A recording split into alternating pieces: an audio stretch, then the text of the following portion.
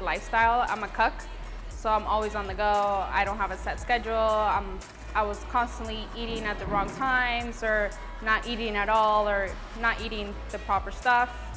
I also went through a lot of family problems, so I was going through rough times up and down. So. Life before Body by Designs was pretty difficult.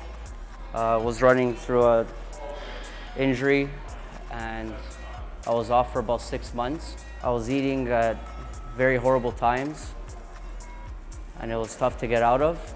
Um, I would go play soccer and it wouldn't feel the same. Go to work, be tired all the time.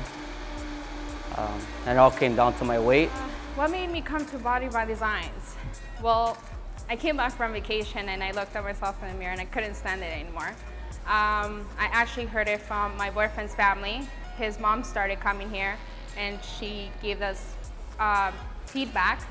Also, Nicola Mana, he also did, he comes here and he actually got stir profile too. So we heard, I got, got really interested of the amount of change that he done and what was going on with him. So I got really intrigued. I talked to my boyfriend, which is my partner, uh, that I train with now. And we came and I liked it and we kept going and we set ourselves goals and we come here twice, three times a week. And our personal trainers uh, made us see there's different workouts we can do our own and at home.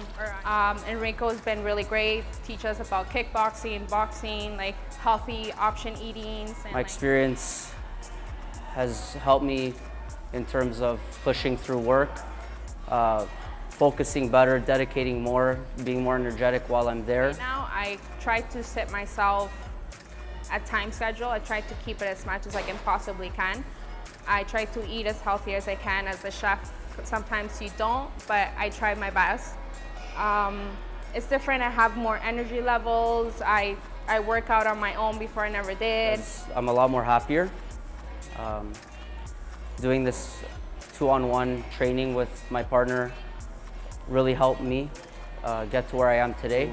Wake up one day, walk in here, sign up and do it.